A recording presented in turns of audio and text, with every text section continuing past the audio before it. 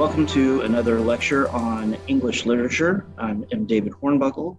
Today we're talking about Canterbury Tales by Chaucer, specifically the Miller's Tale and also how the Miller is characterized in the general prologue to the Canterbury Tales.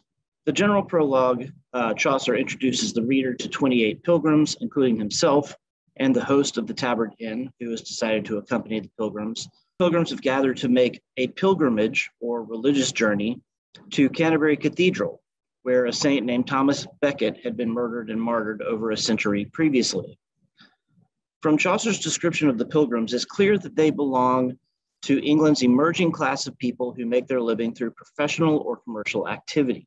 In other words, they belong to what we would today call the middle class. This is a new emerging uh, class of people at the time. As Chaucer describes them, we see that they do not lack for money and that most of them spend their money on themselves and enjoy doing it. From Chaucer's account of each pilgrim, it becomes increasingly clear that this poem is a satire, a form that uses details in the work to criticize situations or circumstances that exist outside the work. In other words, the characters and events in the work allow the author to criticize something that is part of the reader's world rather than just being part of the story. Satire has two parts a satiric object, which is what is being criticized, and the satiric norm, which is what's being held up for admiration and approval. Both the satiric object and the satiric norm are implicit, that is, they are implied rather than being explicit or directly expressed. In other words, the reader must read the story carefully to see what kinds of values it implicitly praises and criticizes. The term estate satire refers to satire that's directed at social class or social status. In The Miller's Tale, Chaucer is satirizing the way that an increasing level of prosperity in England has created a class of people for whom money is more important than traditional religious and intellectual values. So here, money is the satiric object, and traditional religious and intellectual values are the satiric norm. The pilgrims are apparently on a religious pilgrimage, but it's soon clear that their primary purpose is mainly to show off and to have fun. Chaucer's satire of materialism is very apparent, both in his depiction of the miller in the general prologue and in his tale. The miller is crude and lewd, quarrelsome, drunken, and profane. True to character, he tells a shockingly obscene tale, which Chaucer employs to continue the satire that runs throughout his other tales.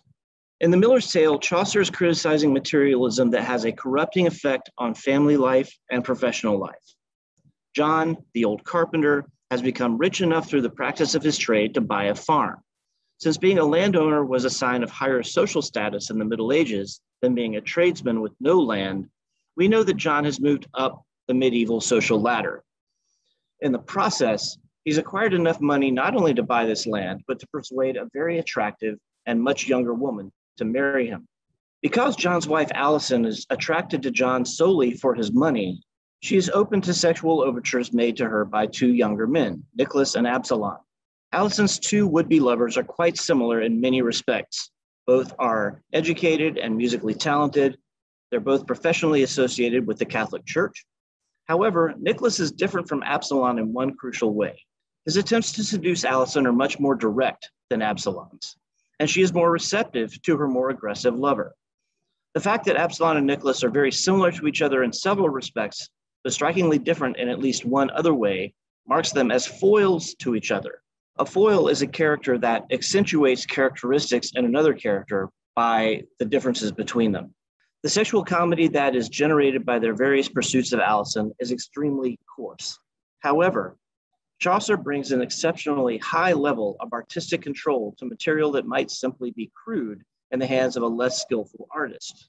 We can see his skill by observing how he follows and transforms the conventions of a medieval narrative form known as the fabliau. In accordance with the conventions of this literary form, the Miller's Tale is full of exceptionally vulgar details or scatology.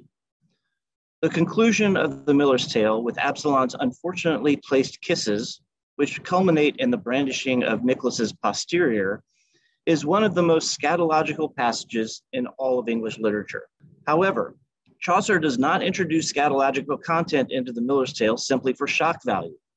The comic sequence of events produced by the branding, Nicholas's cry for water, John's cutting the rope on his tub, his fall from the roof, his broken arm, and his discovery of his wife with her lover all work to the criticism of characters who are motivated by greed, lust, and social ambition. As the crudest story in the Canterbury Tales, The Miller's Tale provides a perfect artistic match for his character, for the miller is clearly the rudest and most boorish of all the pilgrims. Chaucer's literary skill is also evident in his handling of allusion. An allusion is a reference in a literary work to something from outside the work. Allusions may be topical, that is, they may refer to people, places, or events that exist or have existed outside the realm of literature. For example, Chaucer's detailed description of Alison's dress is a topical allusion to forms of women's dresses that were current during his period. Allusions may also be literary. That is, a literary work may refer to details that exist in another literary work. During the Middle Ages, one prevalent form of literary allusion was the typological allusion, or a reference to the Bible. Chaucer presents his readers with a typological allusion when Nicholas tricks John by telling him that a second flood is coming, a reference to the biblical flood described in Genesis.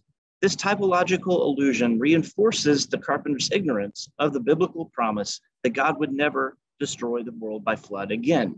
In combination with the fact that he has married a woman who values him only for his money, the rich carpenter's ignorance and credulity add another level to the artistic complexity of Chaucer's estate satire in The Miller's Tale.